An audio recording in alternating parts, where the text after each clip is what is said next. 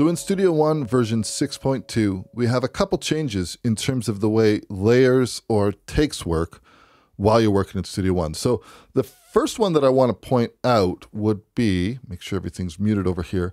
We no longer have an instance where you have a, a layer or an additional layer that's created when you just do one recording pass. So for example, I have a loop range activated I have my record mode set to takes to layers. If I was to activate this right now and do a record pass, take a look at what happens when I just do one pass. Check, check, check one, check one, check, check, check, check, check, check one. Okay. So I've stopped this. This no longer triggers a layer. So if I go to expand my layers, I don't even have the option. In order to expand layers and have layers, you need to have more than one pass. I think this is a good thing because there's so many times where I like working with the takes to layers workflow, but if I only do one pass and that's enough to do, and I don't necessarily need more layers because we nailed it, then it was just confusing for me that it automatically created an additional layer, like two layers, as if though I had recorded two passes. So that's just a really kind of like a simple change in behavior. Now, in terms of some other changes in behavior, this is one that I really enjoy, and that is we have the ability to do some basic editing when we are in layer mode. So, for example, we know what happens when we're in the quick swipe comp mode and we go to make an adjustment. There's no way that I can edit the contents of this take unless I was to activate this layer. And then I could, for example, trim this down and then I could come back to I've already lost my bearings in terms of where I am in terms of my main take that is that is sitting on the top layer. So now in Studio One 6.2, if you hold down the command modifier, that'd be command on a Mac, control on a PC, we have some basic functionality for editing. So for example, I can trim this out. This was a looped recording, so as I trim this out, I'm I'm I'm revealing the next take that happened. But if I wanted to tidy this up, this is something that I can do over here.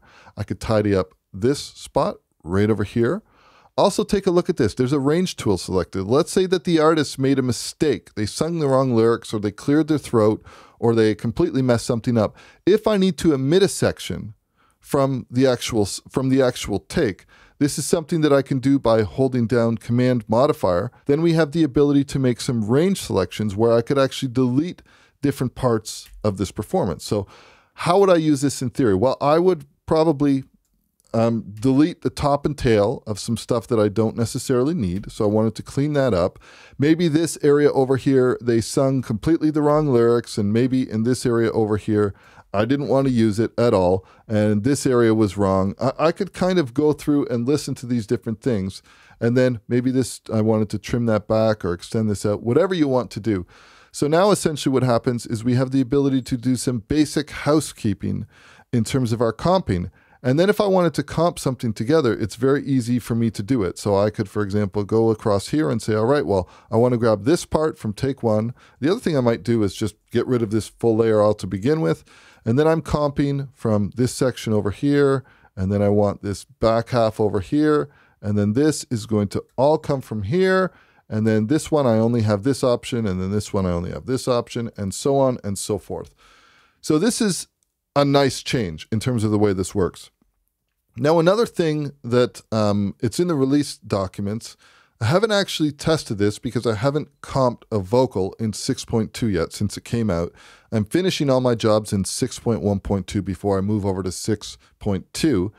But the other thing is that if you had the preference um, where takes layers follow events, in previous versions of Studio One, if you used, for example, the arranger track, and we had a situation like this, if I was to take these right over here, let's put let's try to mock up an edit over here.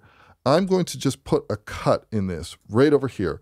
Now let's say that I wanted to either replace or kind of insert this right here. What used to happen is even though you had the, the layers following, even if you had the preference selected that you didn't have overlaps, that it would make a mess of your layers and there would be overlaps in between. So let's go ahead now and let's move this. Let's replace this section and take a look at what happens here. Okay, perfect. That's exactly what I would want to see. We don't have any overlaps that are happening in this section. This came through exactly as I want. Now, let me take this section and let's snip this in. That might, might be a little bit easier. Actually, it might make more sense if we do something where we have an edit boundary that I've respected over here. Maybe right to this point over here. And we'll comp this in and maybe we'll just pull this edit back to here. So if I was snipping in this in between, right over here, if I wanted to replace this section, again, we're going to just replace this we don't have any overlaps in our layers anymore, which means that from the perspective of the main track, this always kind of worked, but the problem used to be that when you opened up your layers, you had overlaps in the layers. So I had to actually be really careful if I was comping from layers and flying things in with the arranger track or from other sections. What I would have to do is just do the comp and then fly everything in like this and just ignore the fact that my layers might be overlapping.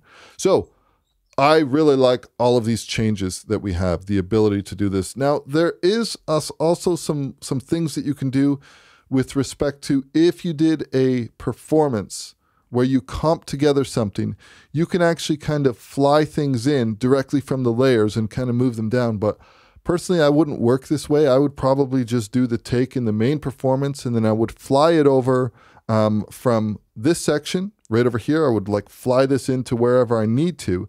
And then the idea would be that if I expanded my layers, my layers would have followed that with it. So I don't really find the need to hold down Alt Option modifiers to drag things down, but I suppose you could explore that if you wanted to. Anyways, that's it for this video. Hope you enjoyed it. Catch you in the next one. Cheers.